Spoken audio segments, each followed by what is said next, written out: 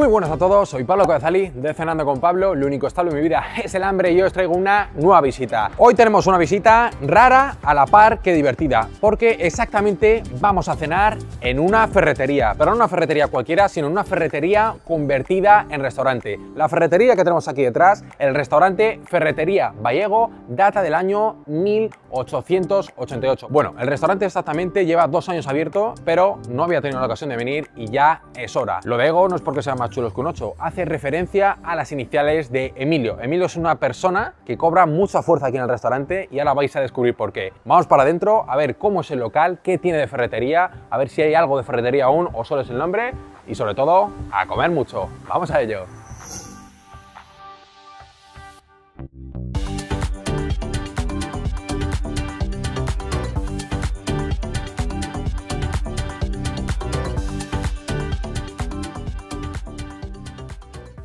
Me encuentro aquí en la entrada de la ferretería y ojo, ojo, o sea, es que es una ferretería total, ¿eh? Por aquí la- las paredes con lo que era antiguamente y si entramos vamos a la trastienda y bueno, aparece un espacio totalmente distinto con una cocina aquí a la vista donde seguro que tiene que estar muy chulo posicionarse por aquí y probar los platos que elaboran justo a escasos centímetros. Porque aparte es que te sientas en lo que es aquí en una mesa donde están lo que es pues llaves, muelles, en fin, todos estos utensilios de los que no tengo ni pajolera idea porque la verdad es que soy poco manitas, menos para coger cuchillo y tenedor. Bueno, seguimos por aquí una zona con mesas altas, también con esos detalles ferreteros y vamos a la parte de abajo que es donde voy a estar cenando porque si seguimos por aquí sigue la esencia de la propia ferretería, pero es digamos distinta, o sea, se mantienen los detalles, cosas pues un poco como bien os he dicho del gremio y bueno, es un espacio distinto, digamos que algo más apagado, que no es malo, simplemente apagado, así un estilo más romántico. Y bueno, tengo justo aquí mi mesa, así que vamos a sentarnos a ver qué pedimos. Vaya restaurante, vaya restaurante, I'm flipping. Estoy a esta con aquí con un candelabro que debe de ser de la Edad Media, porque ojo, y también tengo lo que hay en todos los restaurantes, si puedo mover esto, ostras, cómo pesa. Bueno, vamos a ver qué hay aquí en la carta. Empezamos con una sección llamada para abrir boca, apartado de entrantes. Tenemos cosas como caviar de Belgo Imperial, 180 euros, 30 gramos. ¿Sabéis el caviar? Lo que significa anchoa, ensalada de tomate, una ensalada de confit de pato. Ya sabéis que soy amante del pato. Terrina de foie, bogavante con sus huevas de caviar, 58 euros de entrante. Tarta de atún rojo, verdura de temporada. Croqueta de jamón, 5 jotas. Y es que en este restaurante dan mucha, mucha caña al jamón y ahora vais a entender por qué. De hecho, cobra fuerza un hombre llamado Emilio que por lo visto tiene patentado un sistema de corte de jamón con katana. Ahora después vamos a ver qué es. Y bueno, tenemos ahí para elegir que si un jamón por 29, otro por 36 y uno por 210. Estoy súper intrigado. Tras los entrantes pasamos a tres secciones a fuego lento, de la mar y del campo y pasto. En a fuego lento tenemos que si un guiso de verdinas, una crema de patata con yema y trufa laminada y un falso risotto con castañuelas y cigalas. Después tenemos la mar, con precios entre 36 y 40 euros. La verdad es que el ticket medio aquí me da que va a ser alto. Con un morrillo de atún rojo a la brasa, lenguado, lubina y un estofado de rape y carabineros. Carabineros son mi debilidad. Y después, por último, tenemos la sección del campo y del pasto, que tenemos un jarrete de ternera para dos personas, 64 euros, solo de ternera, pato la naranja, receta tradicional, pluma ibérica 5 jotas, mil hojas de cordero y por último, stick tartare, ¿eh? ferretego, debe ser ahí seña de identidad de la casa. Y por último tenemos la sección de dulces, que prefiero no verla porque seguro que me pongo muy malo. Acompañan también los vinos, para los que guste maridar la, la comida-cena. Y bueno, toda la gran cantidad de vinos, que no son pocos. Y bueno, voy a hacer mis selecciones y empezamos. Ya listo para empezar, servilleta aquí a los muslos. Y antes de meterle mano al primero de los entrantes, tengo por aquí un chupito que viene con belvedere y mil cosas más que por lo visto dicen que es para limpiar el paladar. Así que nada, no sé muy el alcohol, pero ya que me lo plantan, pues habrá que darle.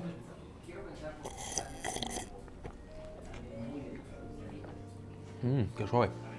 Dicen que es clave para un cóctel que no sepa nada de alcohol y misión cumplida. Ojo a este plato que tiene mucha historia detrás. Son los propios músculos del jamón y hay que seguir un orden, exactamente este aquí, en sentido de las agujas del reloj, y cada uno tiene sus propias particularidades. Aquí Emilio, esa persona de que os he hablado, que es un, un icono, un emblema de este restaurante, considera que el hecho de juntar las láminas prácticamente similares y plantarlas todas así en forma de círculo hace que se integren entre sí los sabores, apreciar las particularidades de cada uno de ellos. A mí esto me recuerda muchísimo a cuando estuve en el Capricho de José Gordon, que tocó volver para grabar un vídeo a ver si, a ver si hago una escapadita, y hacen lo mismo lo que es con el, con el chuletón, sea de vaca de buey, que es que te van cortando los músculos, te los van plantando y guau, eso recuerdo que era un espectáculo y aparte había diferencias entre ellos, así que espero que suceda aquí también. Vamos a empezar. Voy a empezar con, con el tenedor, pero la verdad es que me han ganado hacerlo con las manos, ¿eh? pero bueno, habrá que ser educado alguna vez. Esta primera zona es más magra, creo que antes han dicho que era un poco lo seco o lo tierra, totalmente. Vamos a añadir un poco de mantequilla al asunto. Cuánta razón en que cada, cada una de ellas es totalmente distinta entre sí, ¿eh? Diría que esta ha sido un poco más, más jugosilla que esta que acabo de probar. Y esta es más seca, pero que no es algo despectivo que sea seco, pero no llega al extremo de esto. Y sigamos avanzando en este viaje por el jamón, que me está gustando mucho. Ahora es como un mix de las anteriores y el retrogusto final es distinto. Textura más tosca, pero no por ello mala. La pena es que aquí no sirven pan, por lo visto quiere un poco que perdure la esencia del jamón y o lo come suelto o lo come suelto, no hay otra opción. Y a mí es que me gusta mucho el jamón con pan o el pan con jamón, pero bueno, ¿qué vamos a hacer? Se comerá así. Y por último, mirad, ¿eh? ahí con todo, con todo el tocinillo, con toda la grasilla. ¡Buah! La mejor parte, ¿eh? Brutal. Mmm. Y por último pasamos a las partes más próximas al hueso, son las, las, partes que recuerdan en sí un poco por, digamos, por su consistencia a lo que serán los tacos de jamón, curiosas. Para esta dando una pauta y es que eso que veis es un pozo que tengo justo al lado que cada X minutos se activa y bueno, pues estás aquí, parece que estás en plena naturaleza con los riachuelos. Bueno, estas partes recomiendan masticarlas porque un poco a, más brillo le das, mayor es la intensidad, así que vamos a triturar. Hace poco me dijeron una cosa que lleva mucha razón y es que la comida es apariencia, sabor y textura. Y la textura que tiene esto, créeme que es muy buena. El sabor recuerda a cecina, muy rico. Y es una experiencia. Y queda la última, que es parecida, pero lleva un poquillo de infiltración. Infiltración es la palabra. Grasilla que acompaña. Muy bueno, yo soy sincero, no me importaría cenar esto por 5. Esto es jamón con jengibre en crudo es para darle frescor, es un break después de toda la, separación de musculación. Con esto limpio la boca y con el wasabi limpio la nariz. Estas son esterificaciones de, de, de oliva virgen con wasabi y un taquito de la tierra, en la zona de pegado hueso la cadera con toques a queso azul. Esto es un sabor que, que se creó para Isabel Mijares, es eh, jamón con esterificaciones de, de vino blanco de Sauters. Es espectacular. Este me encanta porque tiene movilidad y bueno, me gusta un poquito. Son esterificaciones, perdón, es eh, mermelada de eh, de jalapeño picante, dulce, Ah, bueno. y me gusta que después, antes de los tostados, pues eh, venga ese sabor. Y tras apreciar las diferencias, vamos con la parte de fusión. La parte de fusión, que me la han dicho antes, la he grabado, ni me acuerdo prácticamente. Antes habré visto un vídeo de cómo es. La verdad es que no recuerdo por dónde se empezaba. Así que voy a ir pillando como la buena, buenamente pueda. No soy muy fan del jengibre. Pero bueno, se puede comer. Es que no os he dicho nada, pero estoy aquí acompañado con dos personas más que han querido acompañarme y voy a ser un poco caballero y, y aunque sea les dejo, les dejo uno a cada uno de, de lo que hay aquí en el plato, cosa que no prometo con los siguientes. Voy a pillar las esferificaciones como buenamente pueda. Aquí anda. Oh. Haciendo wasabi. Ojo.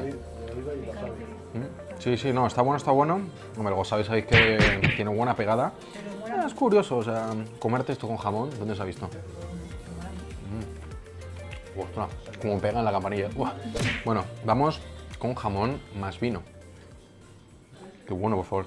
Son vinos dulces de Francia, Sotens. Vinos dulces de Francia. Por ahora el mejor, ¿eh? Joder, casa increíble, ¿eh? Perfecto. Hueva casi increíble, ¿eh? De verdad es que mm, me está doliendo tener que dejarle una a cada uno, ¿eh? No, no, no. Mm. Y este último que se meneaba, mm, me sabe más como a un pimentillo dulce. Lleva El picor tarda en salir. Sí, pero jalapeño sí no es que sea muy dulce. Lleva jalapeño Lleva mermelada. y mermelada. Lleva una Ah, pues mira, mermelada. ahí tienes el toque dulce. Sí, parece una mermelada de pimientos o algo así. Muy rico, la verdad que esto va increchando, o sea, ha empezado bien, tal, no sé qué, pero acabo que lo veas. Y me queda por último estos de aquí. Uno es el con sésamo y el otro con cacao. Me como... Cómete el de sésamo y cierra los ojos. Ay, esto de la comida, qué cursilada. Como comerte un jamón con pan con semillas. Exacto. Pero me falta el pan, ¿dónde? ¿Y el pan? Jamón con cacao. Curioso.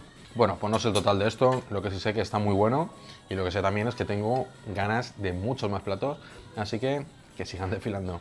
No me sacan pan para el jamón y mira, acompañándome. Eh, uno de cada. ¿De qué son exactamente? Este es de hogata, el trigo. Este es de maíz. Eh, sí, por el color amarillillo. Por aquí tenemos pasas y lejones. Ah, de Y por aquí una torta de aceite. Un trozo de aceite. Genial, pues nada. Y hacer otro pues. Pues sale, cuatro por almendra.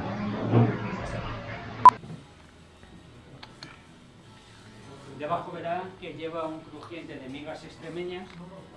Nosotros recomendamos darle un bocadito a la croqueta y luego mojarla en las migas. Ah, bueno, qué curioso. Y hacerle el test, debería recomendarlo también.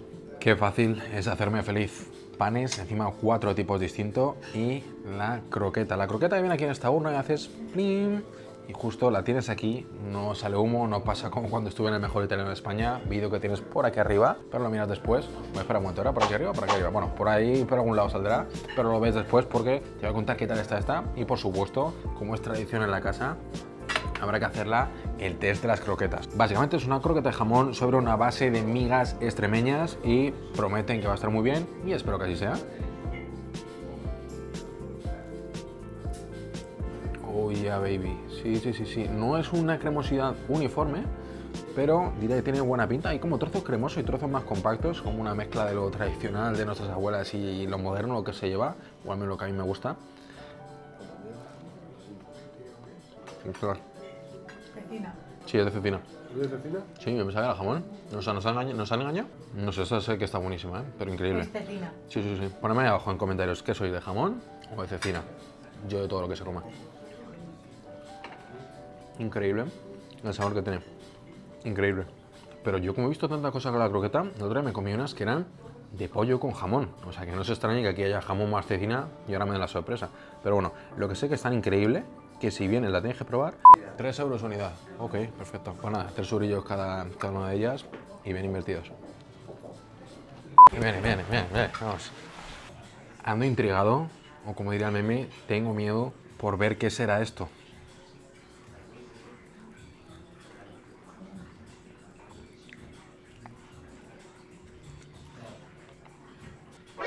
¿Está el jamón? ¿Está el jamón? Jamón, jamón. Vale, bien, bien. ¿Había, había consenso en la mesa? ¿Había consenso? Es jamón, Ah, vamos, no. está clarísimo. No, es cecina, por favor. Que nos trae una de jamón. Me gusta más la de, la de cecina, ¿eh? Está más buena, pero bueno, como hay gente que prefiere uno y gente prefiere otro, sencillo. Os pedí las dos, que imagino costará 3 euros también.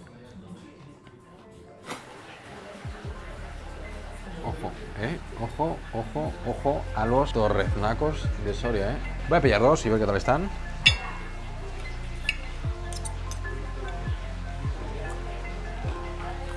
Vaya contraste de texturas. Tienes por un lado la parte crujiente, característica de los, de los torrendos, y en el interior hay jugosillo, blandito. Vamos, que te cuesta esfuerzo masticarlo y es una explosión de sabor. Me encantan.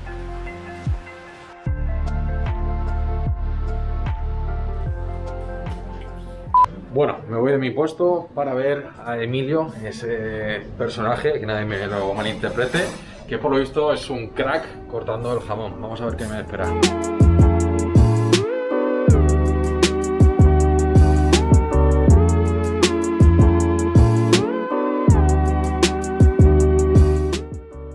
de jamón con ají, era, ¿no? Sí, ají, ají amarillo. Ají amarillo, genial. has dicho que te gusta el Una- picante. Pues nada, una fusión hispano-peruana. Ya estoy por aquí de vuelta a la mesa con el jamón con ají amarillo. Fusión hispano-peruana. Vamos a ver qué tal está. Cogemos tenedor.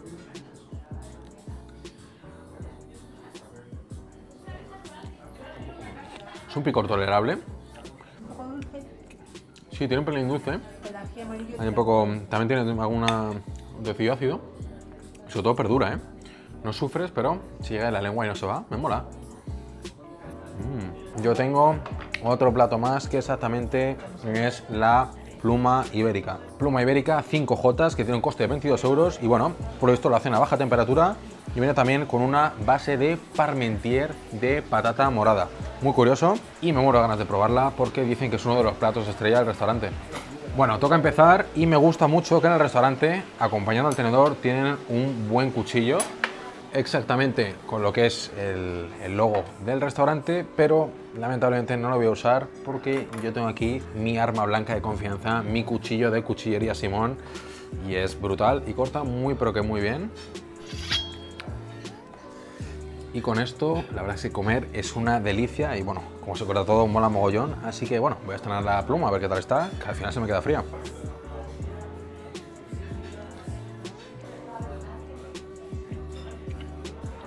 Este trozo a mí en concreto, no sé los demás, está un tanto seco, no está un poco tan jugoso, también es un trozo que no tiene tampoco mucha grasilla. De sabor está bien, pero la textura quizás me falla un poquillo. En cuanto a la grasa, cambia el mundo porque tienes ahí la melosidad presente. Vamos a pillar este parmentier de patata morada. Curioso su aspecto. Esto lleva pimienta negra. Mm. Me toca alguna bolilla. Ahora es un plato con mucha intensidad. A mí personalmente tampoco me está entusiasmando mucho. No digo que esté malo, pero mm, tengo creo que algún otro de carta me gustaría más. Y bueno, me lo puedo comer, pero está por debajo respecto a lo que he comido antes. Mola mucho de la manzana, ¿eh?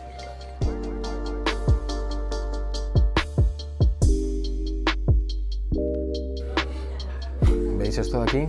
Es el postre que me voy a meter ahora mismo entre pecho y espalda porque lo he visto en carta y me ha llamado muchísimo. Exactamente una tarta fina de manzana, esta es la pinta que tiene, muy buena, o sea, de hecho la cámara no hace justicia con lo que ven mis ojos y me gusta mucho la presencia, pero no me gusta tanto que se derrita de vainilla y se esparza por, todo, por toda la superficie, así que rápidamente, con esto voy a darle cañita y a ver qué tal está.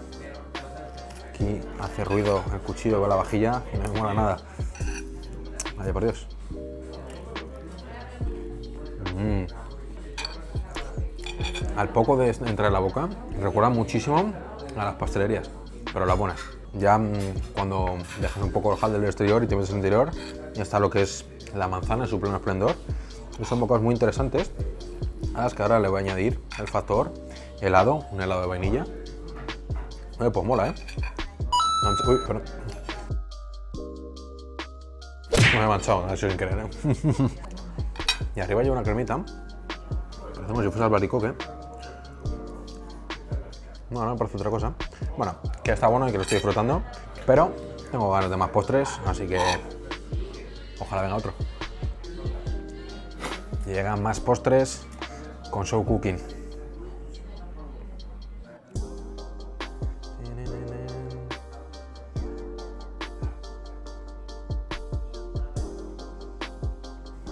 Gracias.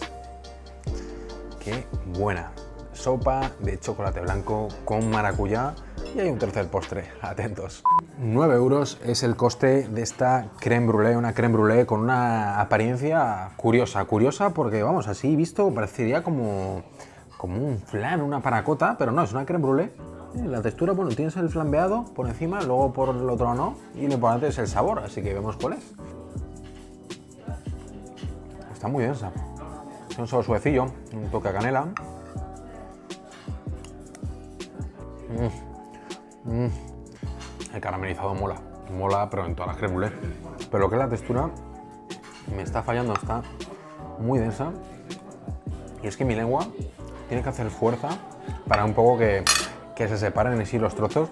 Y hubiese agradecido un postre, algo más, mmm, cremoso, no fluido, no. Sí, sé que me gusta mucho la tarta de queso así, pero más llevadero a la hora de comer, o sea, se me hace muy laborioso comerlo y yo personalmente con la comida sabéis que soy un poco vago en el sentido de que me gusta que no requiera esfuerzo, que los sabores se salgan en la boca, que percibas un poco su intensidad y aquí de sabor no está mal, sin llegar a ser escandaloso, pero lo que es la textura, que es una cosa muy importante, como viene comentado hace unos minutos, mm, ahí frustra un poco la experiencia. Es que no tiene nada que ver con un flan, está muy, muy, muy, muy grueso. Pero bueno, vamos a ver qué tal la, la canela de fruta del bosque o frambuesa, vamos a descubrirlo. Y era de frutos rojos, tiene un poco de todo. efectivamente, porque va cambiando según el bocado. Bueno. interesante, acompañado un poco de galleta y con frutitas, para que lo veáis que no como fruta en mis vídeos. Y como último postre, lo que queda de esta sopa de chocolate blanco, amo el chocolate blanco. De hecho, cuando estábamos confinados en casa aquí en España, grabé un vídeo que era una comparativa de los chocolates blancos de supermercado. Y bueno, fue curioso. Si quieres verla, la tienes por aquí arriba y este es un ojo. Ahora me toca a mí ver qué tal está esto. Una, pues mira, esta, esta textura me gusta y el sabor también, ¿eh? Mmm, mmm, qué rico. Ostras, pero es que si, si lo mezclas con la maracuyá, sube otro level, ¿eh? Juego con la fruta de la pasión. Mmm. Mmm, mucho mejor, mucho mejor. Y vamos a ver la galletita esta que venía ahí en medio. Mmm. La galletita parece de toffee. Me suena haberlo visto en carta, pero al probarla es un poco la sensación que me ha dado. Lástima que no tengo ningún camarero cerca, porque si no me preguntaría cómo he hecho tantos vídeos, cómo he acertado y cómo le he cagado. Me ha pasado de todo. Mm. Oye, pues este postre es muy simple, muy sencillo, apenas tres ingredientes, helado de maracuyá, sopa de chocolate blanco y lo que es la galleta está de lo que yo creo que es toffee, vete a saber lo que será en verdad. Y es muy simple, es sencillo, pero a veces es un poco el que mejor resultado me da, porque ya la creme me ha fallado la textura y bueno, la tarta de manzana, la verdad es que sinceramente me ha gustado, sin llegar a ser una, vamos, top de, de, las que he probado aquí en Madrid o en mi vida, pero este postre la verdad es que es el que más, más me ha convencido y aunque tiene bastantes en cartas, yo personalmente recomendaría probar si es este, si os gusta el chocolate blanco, lógicamente. Mm. Brutal, textura, sabor, contraste de temperaturas. Mm. Mis 10 es a este postre de sobresaliente. Bueno, concluida mi cena, mesa vacía y listo para contaros un poco mi valoración general de este restaurante. Y lo que más me ha gustado, sin duda, es el... Ah, muchísimas gracias. Iba a decir que lo que más me ha gustado, pero lo que más me gusta en el fondo es que me hayan traído aquí los snacks ferreteros. Ferreteros porque, bueno, tenemos ahí que si la llave inglesa, qué buena, y luego aquí lo que parecen como unas pequeñas cookies, una chip. Bueno, bueno, curioso, curioso. Bueno, ahora le meto mano, lo voy a dejar aquí para que la veáis junto a mí, para que estéis un poco tentándome. Y bueno, os cuento. Sin duda, lo que más impacta de este local es en sí el propio local. Alucinante. La entrada, todo con la ferretería, lógicamente cortada para que puedas acceder. Después sigues lo que sería la trastienda, bajas a todas estas bóvedas, estas cavernas, estas grutas, lo que antiguamente era un convento. Sé que no ha sido el más apropiado para grabar, pero bueno, pues me ha moldado lo que había y es curioso con sus detalles, con sus ladrillos, con sus cuadros, con un pozo que tenía aquí al lado. Me ha molado mucho. Entrando al plano gastronómico, son precios bastante altos, bastante, bastante. No he preguntado si podía pedirme reacciones, la verdad es que aquí ha sido un poco caos el, orden del vídeo porque quería venir a grabar aquí, a través de una amiga que les conocía un poco gestión por si me iban a conseguir una mesa y bueno pues eh, al final me han ido yo sacando el menú, alguna cosilla que he elegido y bueno, ha tenido sus luces y sus sombras. Lo del jamón espectacular, o sea, ¡buah! me, lo recuerdo y me pongo malo con, con lo que he experimentado y me, me, ha cambiado el punto de vista del jamón totalmente. ¿eh? Con, pan me gusta mucho, Hemos seguido avanzando en la comida, ha habido croquetas que están muy buenas, sobre todo la de cecina, qué buen recuerdo, qué intensidad, qué potencia. También torreznos, que pese no causarme mucho furor en general los, los torreznos, sí que he de reconocer que tenían su mérito y bueno, todos los comensales de la mesa nos han impactado y eso es bueno. Y después ya hemos pasado a lo que es al, al plato principal, lo que era esa pluma ibérica que lamentablemente ha quedado un poco eclipsada por la anterior y no me ha dicho nada y diría que es un plato prescindible y no me ha molado bastante. Luego entrando al tema postres, lo que he visto hace poco, me quedo con la sopa de chocolate blanco, eh, la creme brûlée desechada y luego la tarta manzana puede servir. Si te gusta mucho la manzana, te recomiendo pedirla. Me mojo, repetiría Sí, sí repetiría para revivir lo del jamón y para experimentar un poco este local y vamos, me ha gustado en ese aspecto muchísimo. Cambiar el segundo, hay algunos que tengo pendientes y seguro que algún día regreso. Yo lo subo en mi Instagram cenando con Pablo, no os olvidéis de seguirme y lamentablemente no os voy a enseñar de la cuenta ya que han tenido el gesto de invitarme gracias a la gestión de mi amiga Ana. Ana, te lo agradezco. Como veis, aquí un con invitaciones, lo digo abiertamente y lo que no me gusta lo comento también, me debo a mi sinceridad y a vosotros y a vosotros me debo, así que no olvidéis darle me gusta a este vídeo para que llegue más gente, suscribiros y activar la campanita para no perderte próximos vídeos, ya sabéis, dos vídeos cada semana. Y bueno, como digo siempre, gracias de corazón y nos vemos en el próximo vídeo. Bueno, en el próximo vídeo no, comiendo una llave inglesa. Creo que de tanta comida me estuvo volviendo majareta porque me sabía como, como jamón, en fin. Me retiro.